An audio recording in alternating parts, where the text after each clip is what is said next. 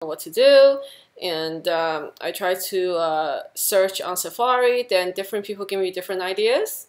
And after trying and error finally I found out a good way for myself to do it. So let me show you how. First I will go to this big apple sign and go to system preferences. Then we'll go down to network and this is an iPad Pro I bought about two years ago. And I will go to advanced. Then what I'm going to do, I'm going to erase all that.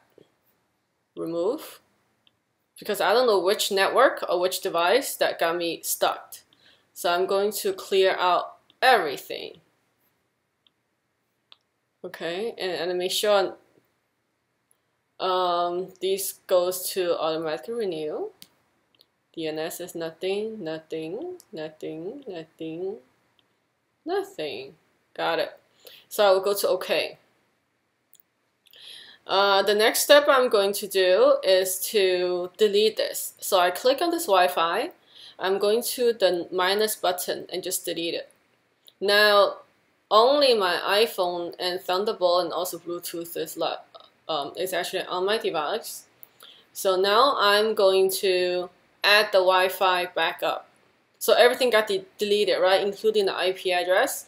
So I'm going to add and this pop up. So in the interface, I'm going to pick Wi-Fi and create. Now, when you look at this, it says network name, there's no, because I deleted all my Wi-Fi network. So I'm going to click on this and to add a Wi-Fi. So this is my um, Mm, I'm going to add it here. I think here is better. So I'm going to add this one in. Okay, you asked me for the password. Um, I'm going to type in the password. Join.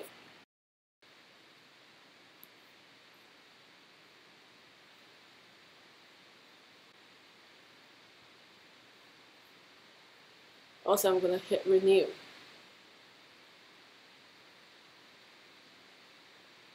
And then now these are renewed and all of a sudden it works.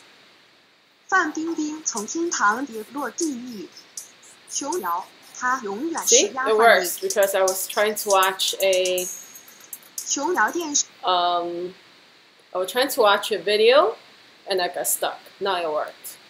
So into a recap, so what I did when you have that window pop up is I go to the Apple and go to System Preferences and click on Network and go to Advanced and click on whatever the network that is and go to minus and delete them.